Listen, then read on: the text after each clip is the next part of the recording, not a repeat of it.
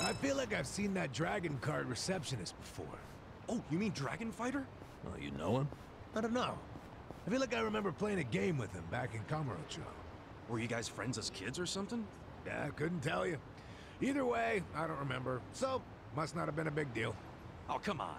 If he's an old friend, you gotta at least try. Right. Not like you got a lot of those to begin with. You trying to start something?